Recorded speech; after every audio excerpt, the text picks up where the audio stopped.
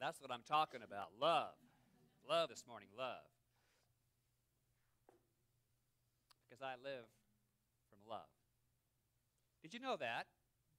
Did you know that? Yes. So, um, this morning, my title.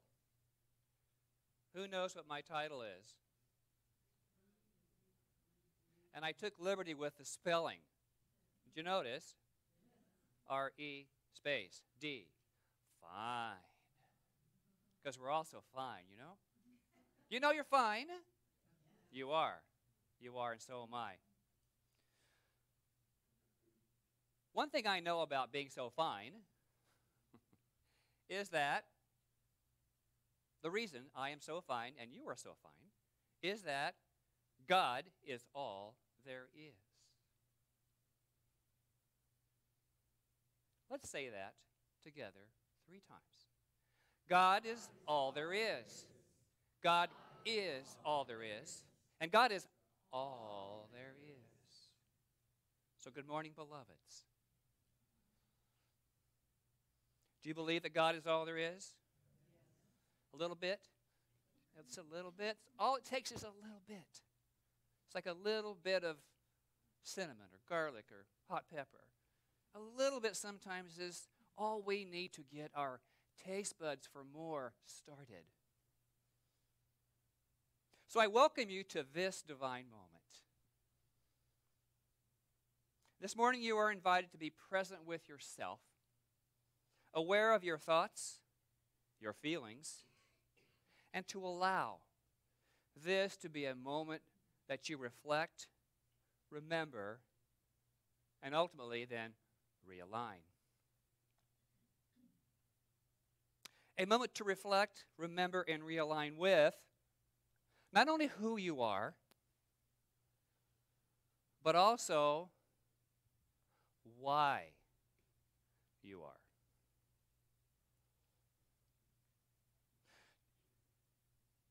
This morning, you're invited to reflect on the why as your universal truths that you carry and know. A moment to remember that you are the beloveds of the beloved. That you are a unique and valuable individualization of the one God, the one Spirit, and each of us, you and I, imbued with every aspect of this universal goodness. Goodness. Goodness gracious. We're good. Spiritually, we are good. But we forget, don't we? We forget that we are intrinsically, we're imbued with, start out as that divine spark of goodness. What do you think happens at the moment of conception? There's a spark of life. And I believe that spark, that, that energy, that molecular power is always who we are.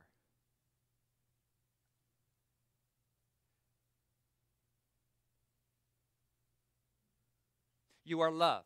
You are light. You are peace, power, beauty, joy, wisdom, and wholeness.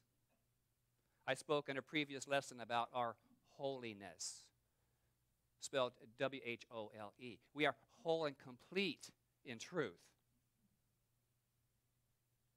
It's our thinking that separates us from that truth.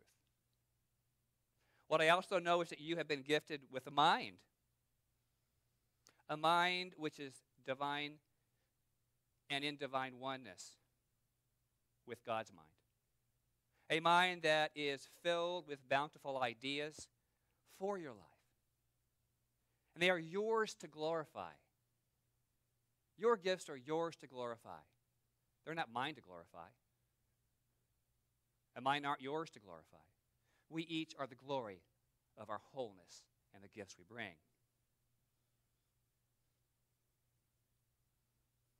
Now, hear this you are a divine idea, and it's why you exist. You're a divine idea, and because of that, is the reason you are here in this life. So let's talk about this realignment, redefinement, shall we? What does it mean to realign? What does it mean to realign? For me, it's to come into agreement and to remind myself that I am a God being in divine partnership. For you to come into the agreement and to remind yourself that you are a God being in divine partnership. What does that mean? For me, it's oneness.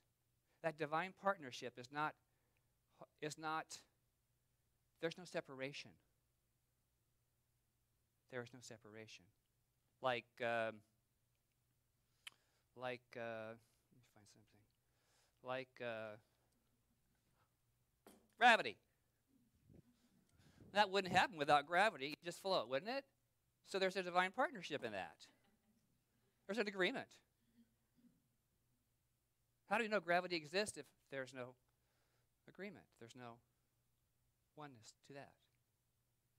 You and I, divine partnership.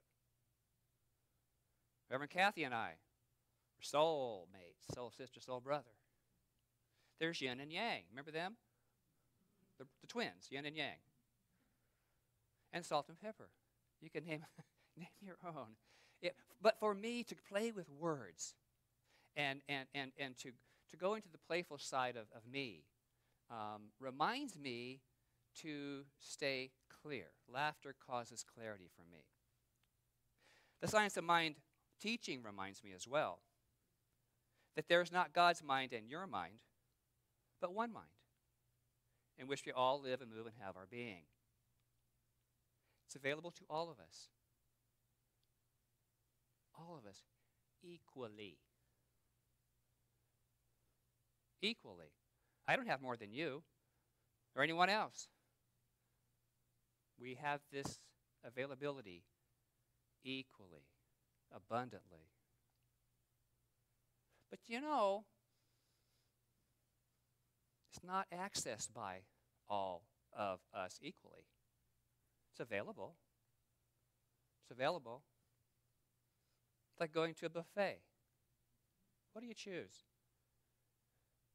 It's a buffet that's always full of all your favorite things. Do you say, oh no, I'll just take a piece of lettuce and a drop of dressing and one cherry for the cupcake? No, that's not how I do it, but you could. But it's there equally. That's my point.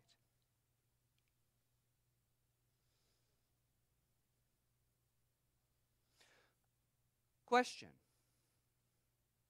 What's the difference in the who and the why of you? Think about that for a minute. The difference in the who and the why of you. Well, the who of you is what you do, and the why of you is the purpose of being and behind the why, the, uh, the, the who of what you do. When you're in the divine moment of you, the why of you becomes clear. Are you confused? Takes a moment. Takes a moment. Do I need those, you think? Oh, okay. Thank you. Partnership, you see, oneness. Let me say that again. When you and I are in the divine moment of the why, the how becomes clear. The how becomes clear.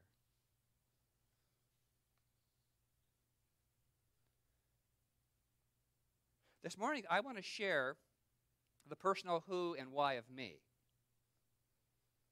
A long story, but I'll keep it under two hours. I'll begin with the who. The who is what I know as an attachment a tag, a label, a perception.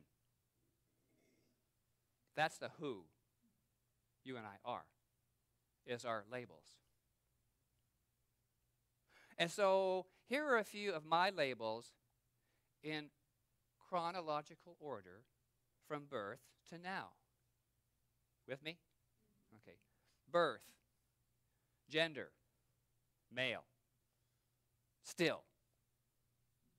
Just saying. we have choices. Name Michael Patrick Benson. Same today. Appearance depends on the decade and the eyesight. you get to call that one. I try. What I appreciate music, art, clothing, dancing, theater, world travel. Love to have gone to teen camp. Um, spontaneous adventures, humor, fine dining. And I can't leave out Zinfandel. Do you know that one? Zinfandel. It's a musical instrument. what I do licensed cosmetologist, businessman, science of mind practitioner, ordained minister, teacher, student, currently spiritual co director of this Center for Spiritual Living Chico. That's who. That's the who. All of these things that I just listed are the who's and what's of me, like nuts and bolts. The who's and what's of me. They are my human labels. Labels have brought me right here to this place. I'm so grateful. I'm so grateful because I would never have met all of you. Thank you very much. And well, what I know about labels, they're fine. And some from time to time must be redefined. You ever had that experience? You get into a job or you get into an experience, you get into a relationship, and you think, what I know about labels also is they're subject to change. We get to grow, we get to evolve, we get to, we get to move. Uh, first of all, in our in our why, back to our why of who we are. And then we get to step into a greater why we are. So I have an affirmation I'd like for us to do together. So if you'll repeat after me The who of me, who of me is subject to change. is subject to change. First in my own mind, and when they are complete, they are complete, they no longer serve me. they no longer serve me. I tell them, adios. So, is that how you live?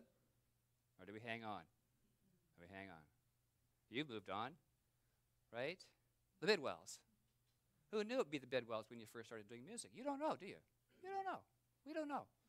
We just let our why say, keep going here, do this over here, come back, step over here, do a little, you know, whatever, whatever you're called to do. When we listen to the why of who we are, it's real clear. It's real clear.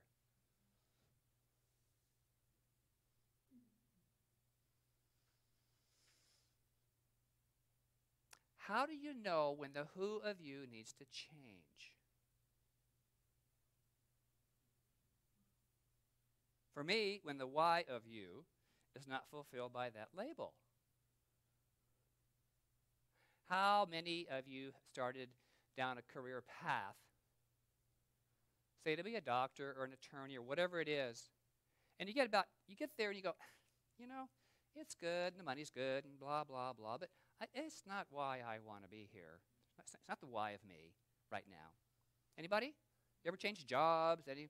Oh yeah, most of us have. Most of us have. So that leads me to the, to the next question. What is the why of you? Do you know why? Do you know why you're on the planet? Do you know why you're in this lifetime? Do you have a why? I have a simple answer without knowing, without labeling it.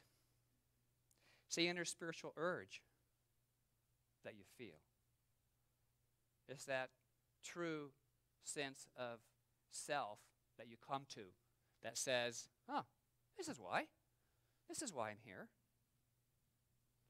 In other words, the why is the deeper, intuitive, pure spiritual reason behind everything you do. Everything you do. It is your divine purpose.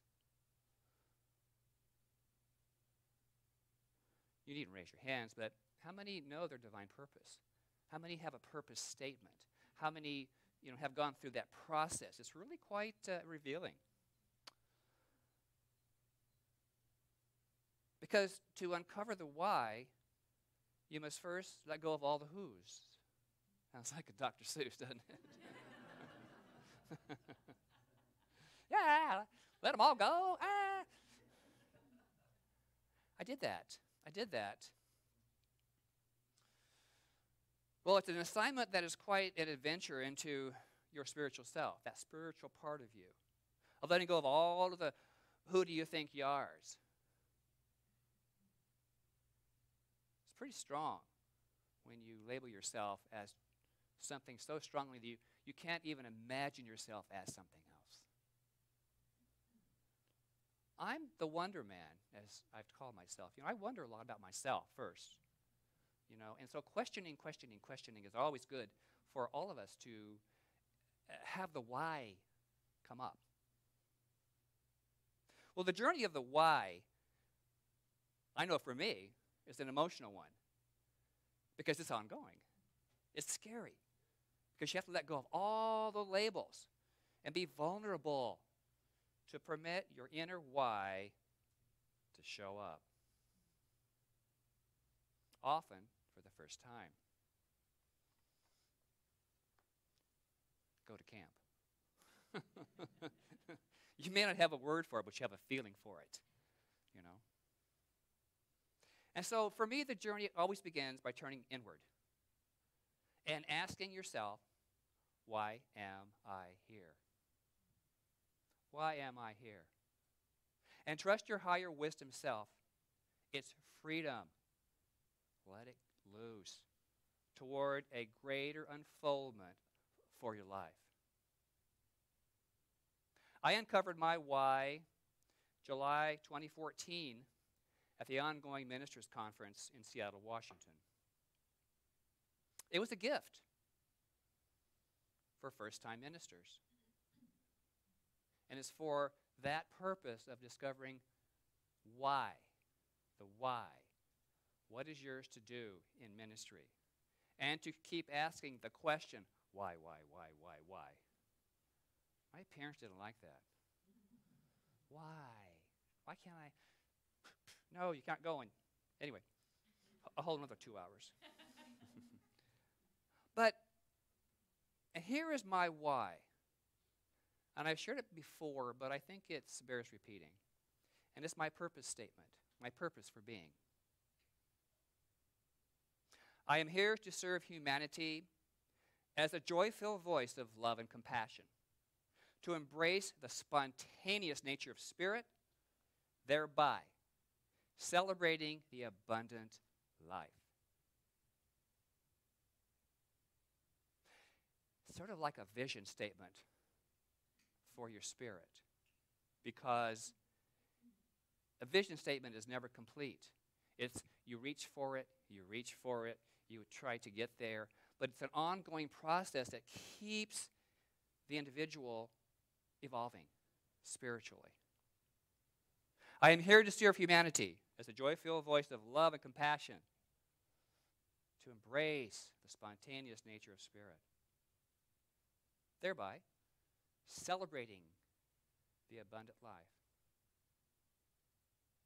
Not celebrated, not going to celebrate, but now celebrating, celebrating. And since that moment, I have endeavored to be true to it and remind myself of it often. Why? It keeps my mind and intentions for living clear and on course. Not only for me, but for all those with whom I come in contact with, like right here. So as I mentally move into each day, I reaffirm my purpose. The why of me is who I feel today. So my purpose I invoke every day within myself to stay on course, to stay clear. As human beings, our perceptions determine and thereby conclude the labels we think we are. But the truth is, each of us has the opportunity to feel another's why.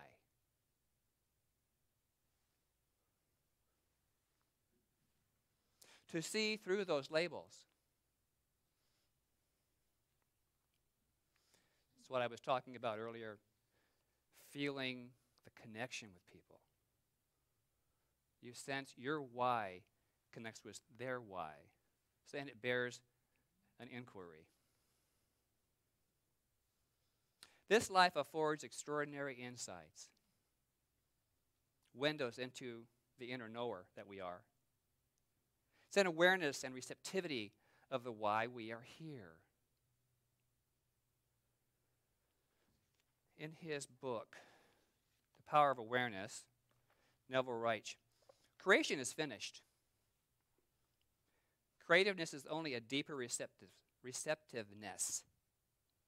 For the entire contents of all time and all space, while experienced in a time sequence, actually coexist in an infinite and eternal now.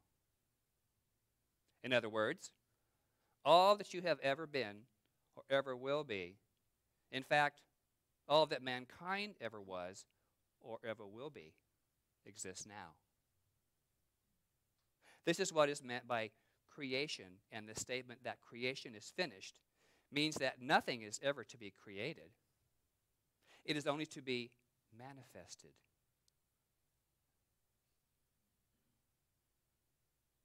Do you get that? Took me a minute.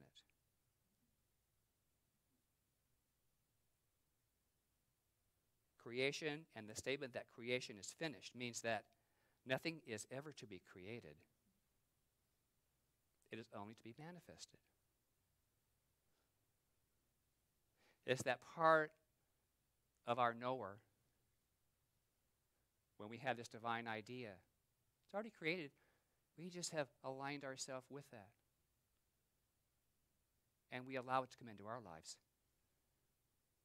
That's the manifestation.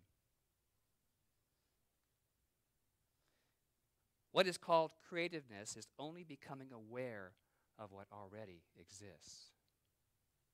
And he goes on the whole of creation exists in you, and it is your destiny to become increasingly aware of its infinite wonders and to experience even greater and grander portions of it.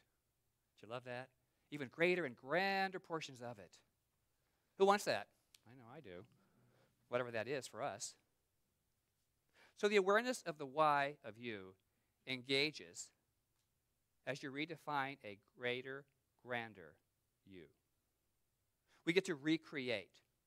And you have the opportunity to redefine the who every time you remember the why.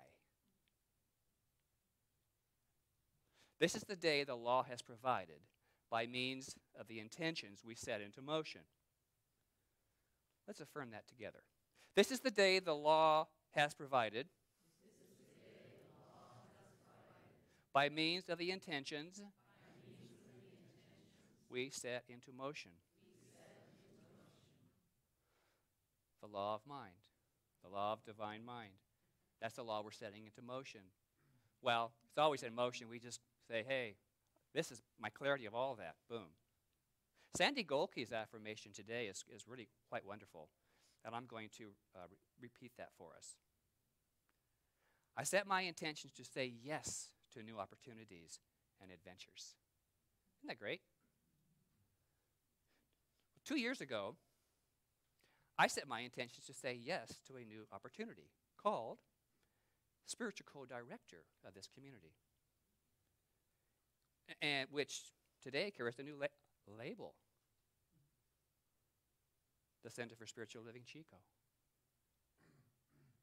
So we've relabeled our center, haven't we? Change occurs. And during these two years, my why has deepened and clarified, don't you know? And my who has been modified and reconfigured, and numerous adventures have been realized. it's quite a journey, you know, when you're, when you're a director of anything. I have labeled these my allowance. My allowance. It's sort of like your parents give you an allowance. So, but my, this allowance is not for what I do, not for the who, but for the why. So, in these two years, I allowed the love of and for another into my life. I also released 42 years of who by selling a home and clearing out a lot of past who. I still got some who trailing along like Pigpen, you know. There's, there's still some, there's still some. But, um, you know, it's really, it's really why. it's a real why, you know. I've opened a new door for my life. And to share in this joy and love of this new door, I'm asking my soul sister, Reverend Kathy Fernandez, to join me.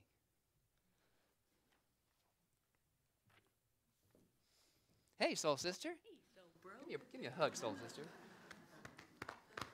She's why I'm here. I just wanted to honor that. I wanted to honor that. Because we chatted, oh, you know, uh, two and a half years ago now. And uh, it really hit my why. hit my, it, still, it still does. So anyway, that's, that's why I'm here today. And so my, um, my life is taking a, a, a new um, label, okay? And this is all good. So on the 21st of May, I addressed the Stewardship Council in a letter, and I am removing my label as spiritual co director. Okay? Effective July 1st. History. When I stepped into this position on July 1st, 2016, it was the result of deep spiritual work. It was the demonstration of my knowing the love and unity and healing of the two CSL centers Center for Spiritual Living Greater Chico and Chico New Thought Center for Spiritual Living. The love of God was the attracting energy, a greater unity and a healing realized. Here we are. I feel a sense of completeness. I am at peace with my decision. As an ordained minister, I am committed to the science of mind philosophy and its teachings, and intend to remain an active member in good standing of CSL Chico. I am grateful for the, for the Stewardship Council, practitioners, and ministers, and staff, and the entire community here for their love and support the past two years. A special note of love and appreciation to my spiritual co director, Reverend Kathy Fernandez, for opening this portal of possibility to me and to you. What a grand adventure it has been. I'm enriched beyond measure, and I thank you, soul sister, for your belief and trust in me. I am so blessed. I live life grounded in my purpose statement, as you've heard. And my succinct version is I am here to be a joyful voice of love and compassion. So, as I step through a new portal, I do so with love, with joy, with compassion, with wonder, into more love. So please know I'm not retiring, but rather experiencing a redefine. So, love and abundant blessings as we redefine all of this. And so, as you think on this, know that I'm still going to be here being an attractive nuisance. Whatever, you know, some kind of an appearance of.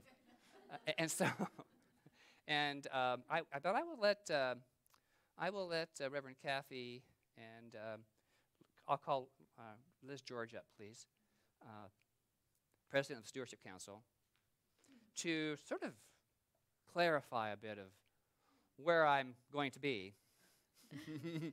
Thank you, Reverend Michael. Yes. Well, I, I, it's on behalf of the Stewardship Council, we honor you for being a model for us in following your why and your truth and and letting yourself evolve, uh, and also for being instrumental in uh, the reuniting of our Chico spiritual family, which is no small thing, and we're extremely grateful for that.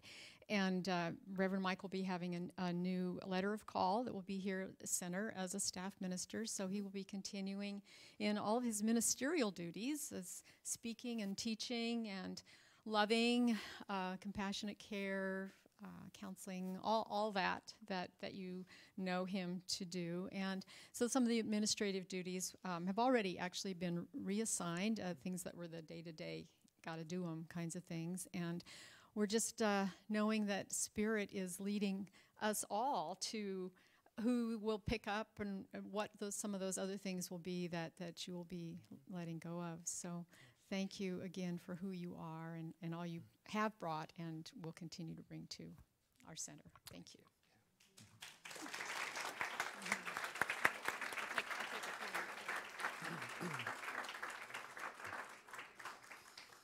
So, as Reverend Michael and I have spoken, um, the soul, the soul connection is forever, and um, what I honor about Michael is knowing his heart so deeply.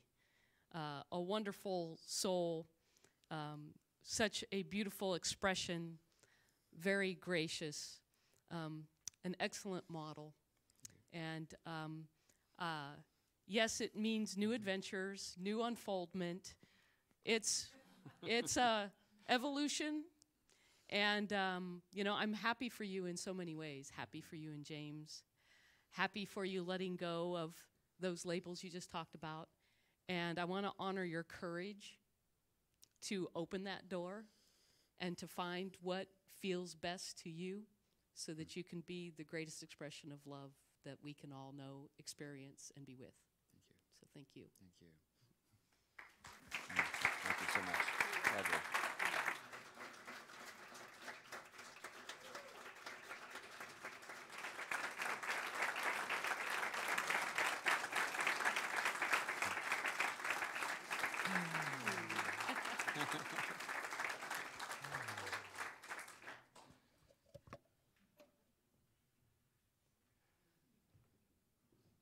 So, a few closing remarks. I'm still here. and I shall be here. So, um, only the label has changed. And so my love continues and shall uh, bloom and blossom. And um, if you feel the need to uh, chat with me, and you just may, I'll be having cupcakes. okay, after service. So, um, namaste, and so it is. And um, I will allow the musicians to come up and uh, give us some